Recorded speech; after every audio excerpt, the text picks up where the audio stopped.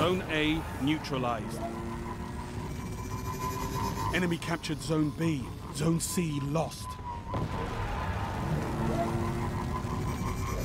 Enemy captured Zone C.